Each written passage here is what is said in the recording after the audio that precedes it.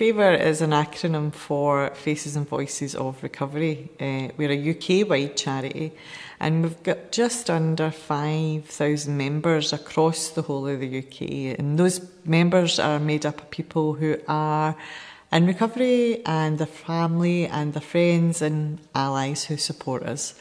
So we are a, we're a charity who put forward lived experience. We've been operational since 2009 and we've been trying to make recovery visible since then, uh, but also challenge policy and make the treatment system better and advocate for people who are trying to navigate the treatment system because quite often people have major problems getting the help that they need and that they want and that they deserve.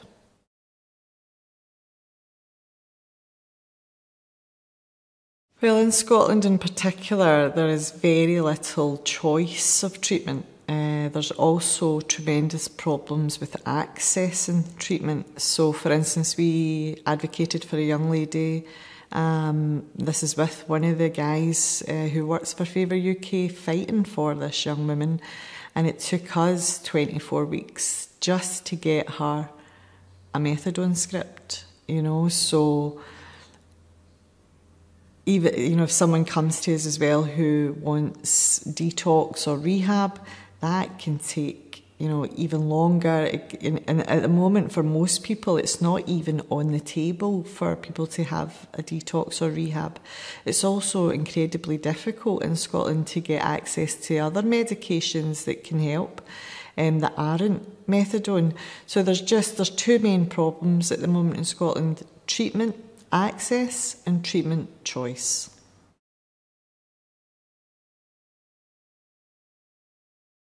The repercussions are that there are more people dying in Scotland than what they are in England, um, and you know our nearest neighbour, there's actually almost five times less deaths. So it just means that we're failing the Scottish people. It means that we're, you know, our families and friends are suffering when they don't need to. Um, if, if our treatment system was more robust, um, they, they wouldn't have to suffer and, and they wouldn't have to die.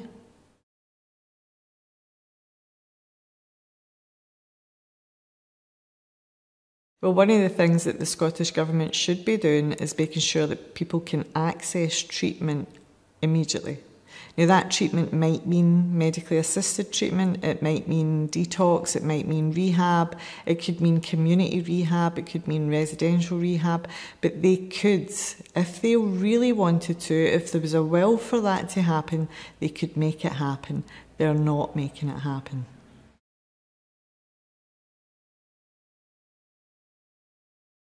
Naloxone is, in theory, great. In practice, most of the people who are dying are dying in their own homes, they're dying alone, and they're dying with benzodiazepines in their system. Now, naloxone does nothing in those situations. So, naloxone has become a political red herring. It's something that the government organisations, their quangos, continually promote. It's something that they've encouraged peer workers to promote, and that's a good thing. But it's not tackling the problem that's right in front of us, and it can't possibly tackle the problem that's right in front of us.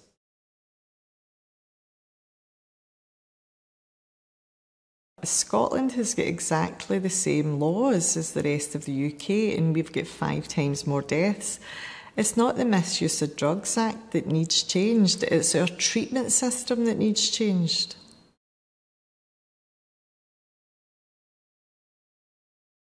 In most parts of England, if you turn up at a service, you will be seen that day.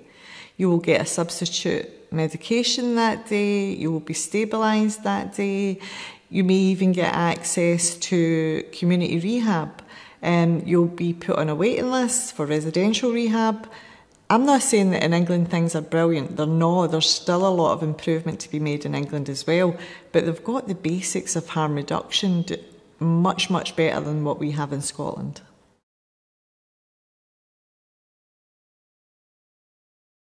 The main advantage of speaking to someone in recovery is they will share their experience, strength, and hope with you. And what that does is it immediately gives a message of depth and weight that other professionals can't possibly carry. And you know, in any therapeutic process, it's that rapport that matters, it's that connection, and it's also the therapeutic value of one addict or alcoholic helping another. And that is really missing from Scotland's treatment system.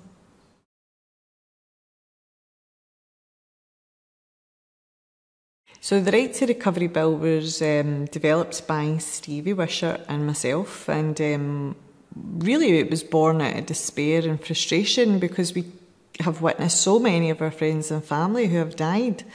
Um, there was a young man that we both knew who died on Christmas Day in 2019, and we we were just we were exasperated with the treatment system. And Stevie had the experience of working in the homeless uh, sector, so he he had experience of seeing how the law changed the treatment system and how the law could act to get people access to uh, homeless accommodation and houses. So we, we looked at the old bills that had been attempted before and we thought, okay, we'll, we'll try and look at why they failed and we'll try and create something that has got a good chance of passing. And I think we've managed to do that.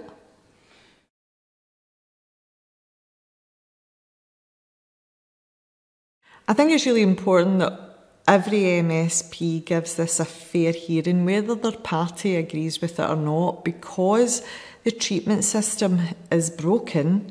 We need the law to help us. We need the law to instruct the local authorities to provide treatment for people because at the moment they're not providing that and they're not, there's no legal duty for them to provide it.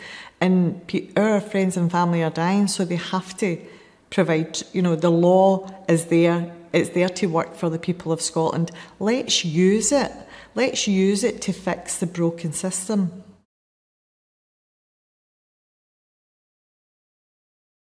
Well, for anyone who doesn't understand or have any experience of a loved one suffering from addiction, I would ask them to be open minded and to take into consideration that it's the people in our poorest communities who are dying in the highest numbers here.